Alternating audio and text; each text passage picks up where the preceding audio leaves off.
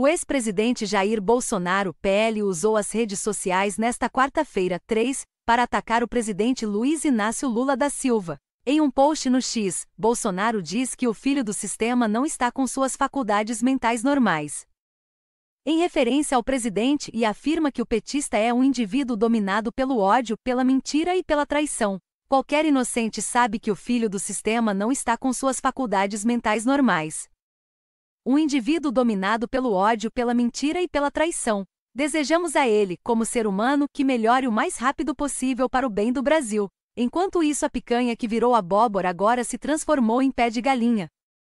O chefe da organização então taca imposto na cervejinha e na picanha, os principais produtos que fez campanha enganando o eleitor, escreveu Bolsonaro.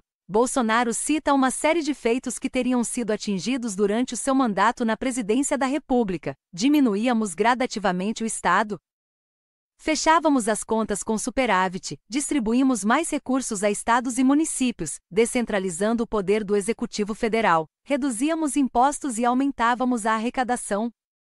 Ontem, Lula alfinetou Bolsonaro e disse que o ex-presidente nunca mais voltará à chefia do Executivo após perder o pleito de 2022 e se tornar inelegível até 2030. Segundo o presidente, a extrema-direita precisará se adequar ao regime democrático e ao diálogo, o que inviabilizaria candidaturas radicais como de Bolsonaro. Perdeu. Perdeu as eleições e eu vou contar uma coisa para vocês: não volta mais.